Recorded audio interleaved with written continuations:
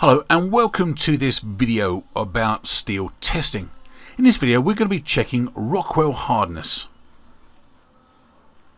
When it comes to testing the hardness of steel there are different methods that are used to suit the steel grade you are testing. The different test methods are Brinell, Vickers and Rockwell.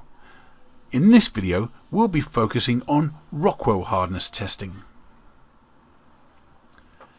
Before we jump in, let's have a look to see who this video is for. So the hardness of a steel determines how much it can resist deformation and abrasion. Understanding Rockwell hardness testing of steel is an important factor for any design engineer. Let's have a look at Rockwell hardness in more detail. Now the Rockwell scale is a hardness scale based on indentation hardness of a material.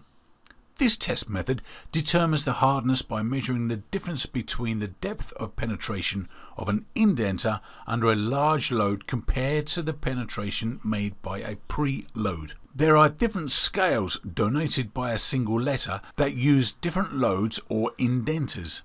The result is a dimensionless number noted as HRA, where in this case A is the scale letter, so it's hardness Rockwell, and then the scale it's being measured in. Now, steel is generally measured in the C scale, which is shown as HRC.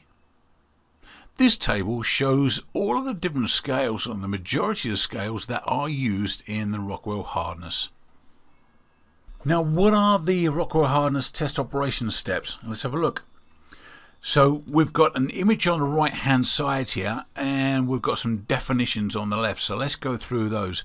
So to start with, A, this is the depth reached by indenter after applying a preload or known as the minor load. The second image there, B, this is the position of the indenter during total load, which is minor plus major loads. And then C, the final position reached by indenter after elastic recovery of sample material. Now D, you can see this here, is the distance measurement taken representing difference between preload and major load position. This distance is used to calculate the Rockwell hardness number. Now that calculation is shown here, which is HR, which is the hardness for Rockwell, equals N minus H over S, where N is the factor specific to the Rockwell hardness scale the material is being tested against, so you need to check that in your tables. Small h is the measured distance in indentation measured in millimeters, and S is a scale unit based on a Rockwell hardness scale measured in millimeter. According to the ASTM E18 documentation, the Rockwell hardness is determined as follows. Using a diamond spheroconical indicator, Rockwell hardness equals 100 minus H over 0.002 millimeters. So the known data here is the 100 and or the small s, which is 0.002 millimeters, where h is your measurement. Let's have a look at the setup of a Rockwell hardness test.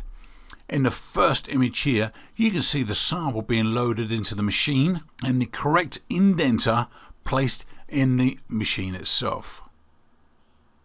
Secondly, the table is raised up to the correct position now this is achieved by a microscope where the surface of the test material comes into view and is in focus.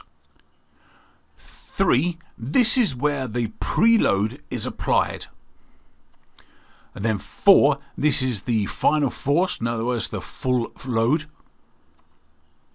and this is the results from the machine which is fully automated and calculated. We can see the value here on this gear wheel has a Rockwell hardness of 54.89 in the scale of C. Typical Rockwell hardness values. Now, very hard steel, for example, chisels or quality knife blades, they have uh, an HRC of around 55 to 66. Hardened high speed carbon or tool steel, such as M2, W2 O1, or CPM M4 and D2, as well as many of the newer powder metallurgy stainless steel, such as CPM S30V or CPM 154, and indeed the ZDP 189, for example. Now, axes, they have a Rockwell hardness of around 45 to 55, whereas brass, as we know, is a lot softer, is measured in the B scale here, so we can see the HRB, and that has around 55. The table on the right shows some typical values for knife steels. And we were talking about the S30V earlier. We can see that on the chart here has around 60 on this particular chart. If you would like to learn more, just visit our website where you can see materials we regularly work with or processes we know very well. Well, thanks for listening. My name is Paul Adams from Sofeast, and I shall see you in the next video.